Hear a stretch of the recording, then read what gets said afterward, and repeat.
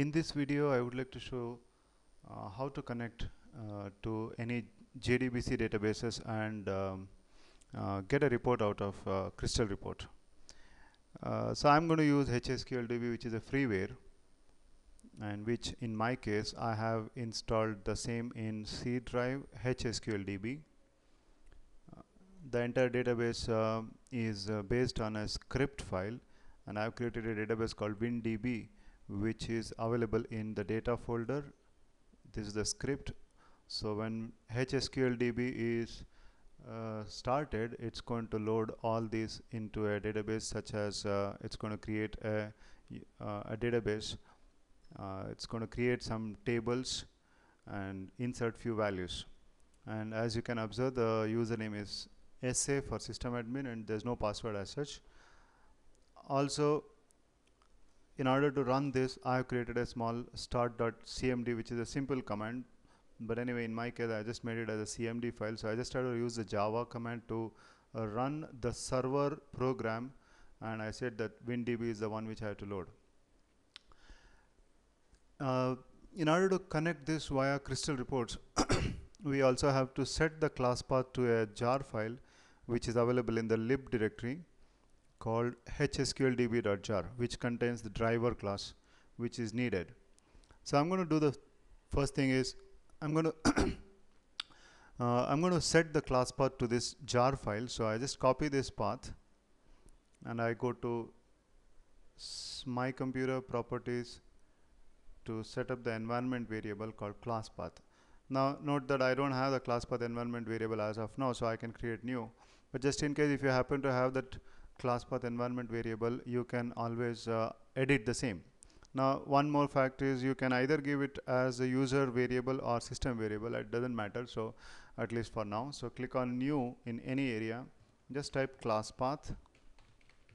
The value would be uh, the first thing would be to a reference to the work directory which is a good practice.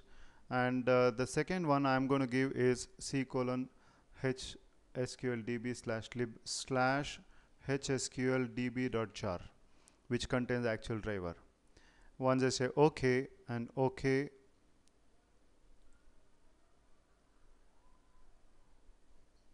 and come out of the screen. Let me get the server started by running the start cmd from my hsqldb folder so it's here and now you can see it says that the server is started in so and so milliseconds like 140 milliseconds uh, the port consumed by this server is 9001 I just minimize this window. As long as this window is open so the server is starting. Uh, server is running sorry. And uh, whenever you want to shut down the server I have one more uh, CMD file which has a similar command to run uh, a server or rather shutdown server program from Java. So I'm just going to use it later. Now that my server is running class path is set let me start crystal report and this time let me start with a blank report. Go to create new connection. And it's not a ODBC or DAO or ADO or a flat file system or any database fi file format. So I have to look for uh, the JDBC which is uh, probably available not available. I guess it's here.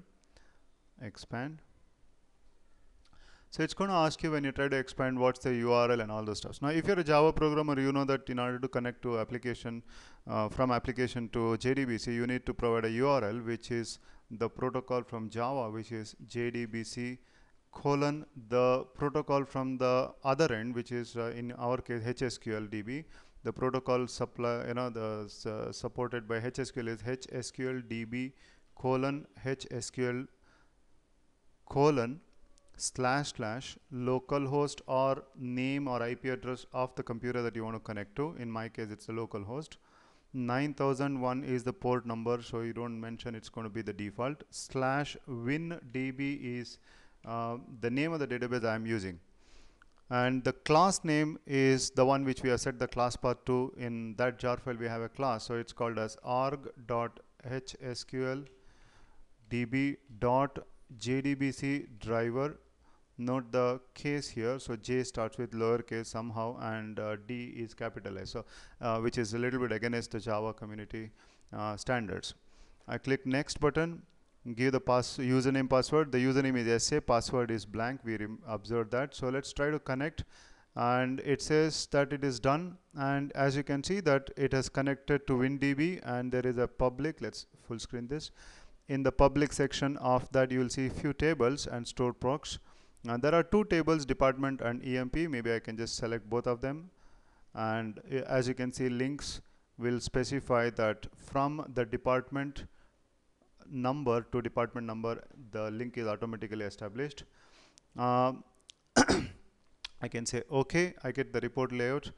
Uh, let's just bring all the fields whichever is important. In this case emp number name job hire date salary commission drag and drop and I need the department name and location so probably I go to these two get my data here. Uh, if the space is not good enough I can always say file page setup landscape so I can see more space here. I'll use it for manager. And let us uh, view the report and bingo we have the report ready. Data is coming from uh, the HSQL DB uh, we can also work on any other options that Crystal report works with uh, most other databases such as for example working with more tables. I go to database expert. Uh, add the EMP as another table so that I can get the manager details and go to links. The linking here is wrong. Uh, I don't need this. I'll get rid of this. Uh, all I need is a link from a manager to the employee number. Uh, considering this as the employee table this is the manager table uh, I say OK refresh data nothing else is added as of now so I'll go back add more. Now you can see that the manager data. And I just drag and drop the employee name here and change the title as probably manager. And when I view the report this is how it looks like now. So as you can see manager data that's it. I hope you enjoyed this video